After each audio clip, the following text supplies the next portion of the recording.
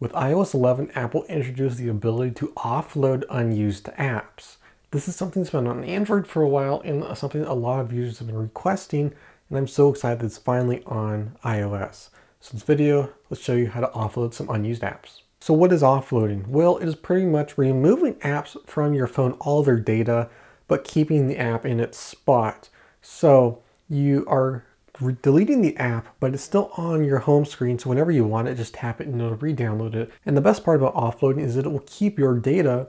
So if a game, for example, you're on level 10, you do offload the app, you re-download it, it's still gonna be on level 10, no matter whether it has sync or not. So you're gonna be good to go.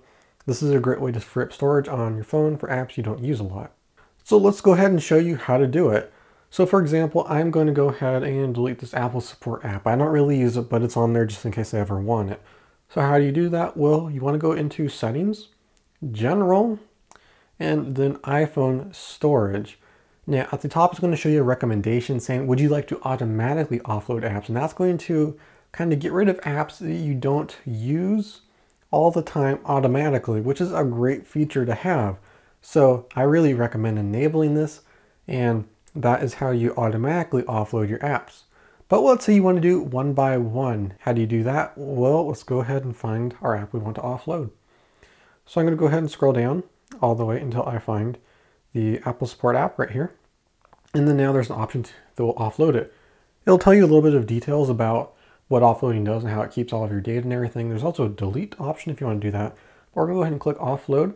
It'll say, are you sure you want to offload it? We will say yes. And now we only have 756 kilobytes of data, where compared to previously we had 46 megabytes. So the app is still there and it's going to re-download whenever we click it. And as you can see, there's a little cloud icon letting you know that it is offloaded and um, it's going to have to re-download that. So you're going to probably want an internet connection. But um, we saved 46 megabytes of data. And if we go back to settings, it'll say up top, that we can um, actually save 2.64 gigabytes if I offload every single one of my apps that I don't use. So that's probably something you want to automatically enable because that's a lot of data it can save you. And it's the best part is it keeps all your data when you bring it back afterwards. So there you go. That's how you offload apps manually and automatically on iOS 11. It's a great feature and I highly recommend you do this. If you like this video, leave a like and hit the subscribe button so you don't miss any more iOS 11 videos and especially our iPhone 10 video coming out in a few weeks. Thank you so much for watching as always. This is Mark with Apple Tech 128 and I will see you in the next one.